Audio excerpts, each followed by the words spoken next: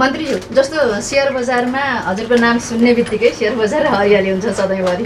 अब सेयर बजारका लागि तत्काल केही गर्छ कि सरकारले? यो चाहिँ स्वभावैले सेयर बजारलाई हामीले चाहिँ अर्थतन्त्रको ऐनाका रूपमा बुझ्ने गर्छौँ। कतिपय सन्दर्भ समयमा कस्तो पनि टिप्पणी हुने गर्यो भनेदेखि यसलाई जुवाघर आदि इत्यादि भनेर पनि टिप्पणी हुने गर्यो त्यसले चाहिँ एक खालको प्रतिक्रिया पनि पैदा गरेको थियो। यथार्थमा सेयर सेयर बजारलाई हामी चाहिँ अर्थतन्त्रको ऐनाका रूपमा हेर्ने गरेका छौँ। पछिल्लो दिनमा एक खालको उत्साहको स्थिति हामी देखिरहेका छौँ। यसलाई चाहिँ एउटा चाहिँ सन्तुलित ढङ्गले अगाडि बढ्ने एउटा अनुकूल परिस्थिति निर्माण होस् भन्ने कुरामा हाम्रो ध्यान जान्छ। स्वाभाविक रूपमा।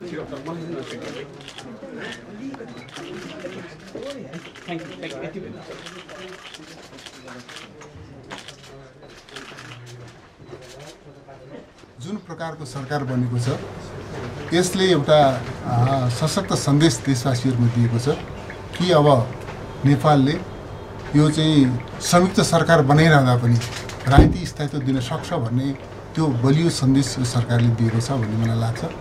अब हामी एउटा स्थिरताको सन्देशका साथ देशलाई विकास समृद्धितर्फ सामाजिक न्यायतर्फ अगाडि लिएर जान सक्छौँ भन्ने त्यो आत्मविश्वासको साथमा हामीहरू अब अगाडि बढ्दैछौँ।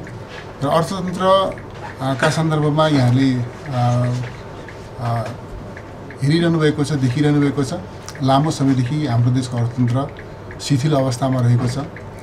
र यसलाई चलायमान गर्नु यसलाई चाहिँ गतिशील तुल्याउनु र अर्थतन्त्रका सबै क्षेत्रहरू सबै विधाहरूलाई चाहिँ प्रभावकारी ढङ्गले परिचालित गर्नु यति बेलाको चाहिँ ज्वलन्त आवश्यकता हो भन्ने मलाई लाग्दछ।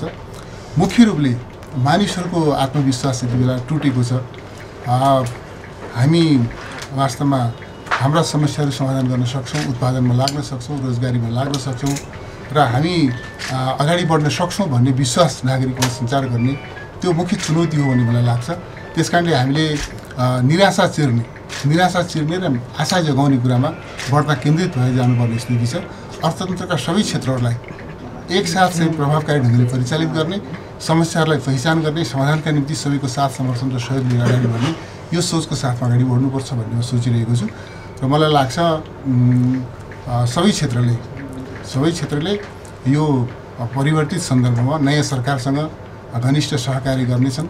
हामी निजी क्षेत्रका कुराहरू पनि राम्रोसँग सुन्नेछौँ उहाँहरूले फेस गर्नुभएका समस्याहरू के हुन् कठिनाइहरू के हुन् त्यो कुरालाई पनि हामी सुन्नेछौँ समस्या समाधानका निम्ति सहजीकरण पनि गर्नेछौँ।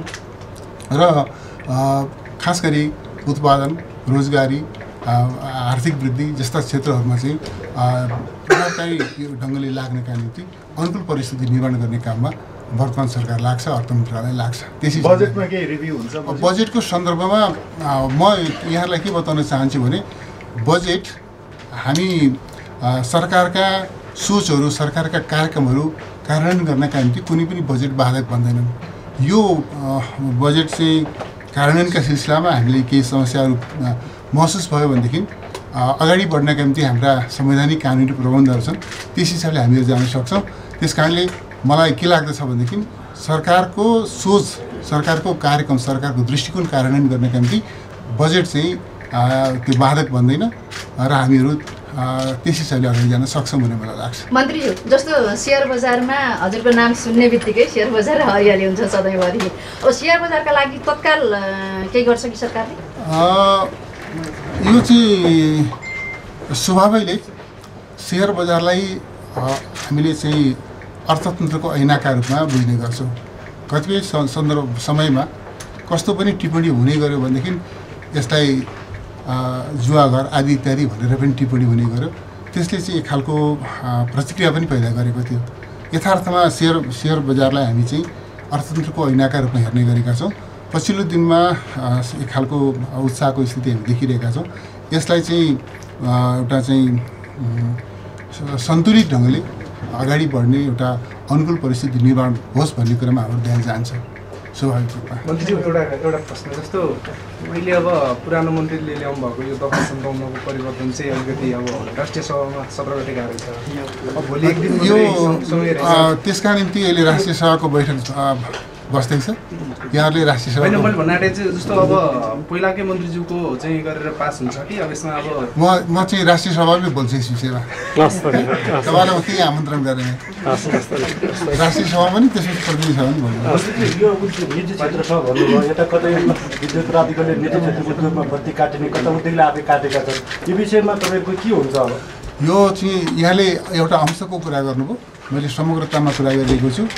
हामी चाहिँ अर्थतन्त्रका सबै क्षेत्रहरूका समस्यालाई गहिरो गरी हेर्छौँ विश्लेषण गर्छौँ र समाधान गरेर अगाडि बढ्छौँ मुख्य रूपले आत्मविश्वास जगाउने हिसाबले हामीहरू उहाँहरूलाई चाहिँ उहाँहरूका समस्या समाधान गर्ने हिसाबले अगाडि बढ्छौँ स्पष्ट पारिदिनु आत्मविश्वास कसरी आत्मविश्वास त उहाँहरूका समस्या सुन्ने र समाधानका निम्ति सरकारले सही प्रकारका नीति र निर्णयहरू लिएर अगाडि बढेपछि आत्मविश्वास बढ्छ। सरकार निजी क्षेत्रको चाहिँ निमित्त सहयोग गर्ने सहजीकरण गर्ने उहाँहरूका समस्या समाधान गर्ने उहाँहरूको पनि अभिभावकको भूमिकामा हुन्छ। अ, कानुन सम्मत ढङ्गले उहाँले उत्पादन गर्नुहोस् त्यसपछि रोजगारी सृजना गर्नुहोस् राम्रोसँग कमाउनुहोस् ट्याक्स तिर्नुहोस् र एउटा सम्मानित नागरिकका हैसियतले आफ्नो जीवन व्यतीत पनि गर्नुहोस्। त्यस प्रयोजनका निम्ति सरकार चाहिँ सहयोग र सहजीकरणको भूमिकामा रहन्छ अभिभावकको भूमिका रहन्छ। हामी त्यस खालको अनुकूल परिस्थिति निर्माण गर्ने काममा हुन्छौँ। मन्जी अहिलेकै बजेटले यत्रो रूपान्तरण र यत्रो आत्मविश्वास आउँछ? हजुरलाई विश्वास छ? मैले भनिहालेँ नि हामीलाई चाहिँ हाम्रो सरकारको नीति र कार्यक्रम कार्यान्वयन गर्ने सिलसिला सरकारको दृष्टिकोण कार्यान्वयन गर्ने सिलसिलामा सरकारका कार्य यो योजनाहरू कार्यान्वयन गर्ने सिलसिलामा कुनै पनि बजेट बाधक बन्दैन।